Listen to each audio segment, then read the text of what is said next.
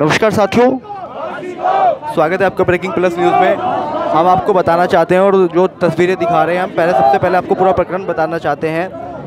रुड़की गंग नहर की ये तस्वीरें हैं, जो आप देख रहे हैं। सैनी समाज के जो लोग हैं, वो यहाँ पर उपस्थित है और तमाम सैकड़ों संगठन इस समय मौजूद हैं। यहाँ पर जो है धरना प्रदर्शन और जो है पुलिस प्रशासन मुर्देबाद के नारे लग रहे हैं। आखिर क्यों लग रहे हैं? क्या कारण है? इसके बारे में सबसे पहले आपको बताना चाहूँगा, विक्रम सैनी नाम के जो मथुलापुर के निवासी, उम्र लगभग 40 वर्ष, रुड़की के एस बैंक में नौकरी करते थे और वो गायब हो गए और गायब होने के बाद में जो है, एक एफआईआर के रूप में जो है यहाँ पर गुमशुदगी की रिपोर्ट दर्ज की गई, लेकिन उसके चार दिन बीत जाने के बाद में आज जो है, उनकी जो है डेड बॉडी मिली और डेड बॉडी मिलने के बाद में उनका जो है ऋषिकेश के एम्स में जो है ऋषिकेश के एम्स में जो है पोस्टमार्टम कराया गया। उसके बाद में यहाँ पे जो लोग हैं और जो परिजन हैं और जो तमाम लोग हैं, उनका आरोप है कि जो है यहाँ पर जो है पुलिस के द्वारा जो तीन आरोपी यहाँ पर पकड़े गए हैं, उनके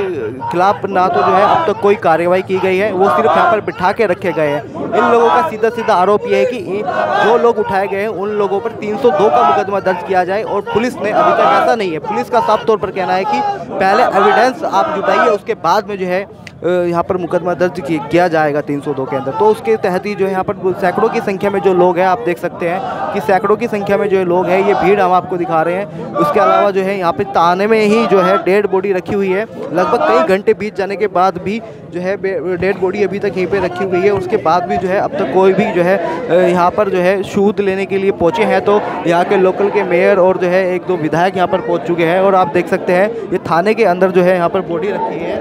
थाने के अंदर बॉडी रखकर जो है यहाँ पर इन लोगों का जो है धरना प्रदर्शन चल रहा है। इस समय जो है बॉडी ये है, ये रुड़की गंगनहर थाने के अंदर ही जो है यहाँ पर बॉडी रखी गई है और यहाँ पर ही जो है परिजन है, परिजन के साथ साथ में आप देख सकते हैं, सैकड़ों की संख्या में जो है यहाँ पर भीड़ है और लगातार ये जो है धरना प्रदर्शन इनका कई घंटों से यहाँ पर लगातार चल रहा है। अब देखने वाली बात होगी कि जो है प्रशासन या पुलिस के द्वारा क्या कार्रवाई की जाती है, क्यों, जो इन लोगों की मांगे हैं, क्या वो पूरी होती है या नहीं होती है। कैमरा पर्सन देव के साथ मोनू सैनी उत्तराखंड उत्तर प्रदेश बैकिंग प्लस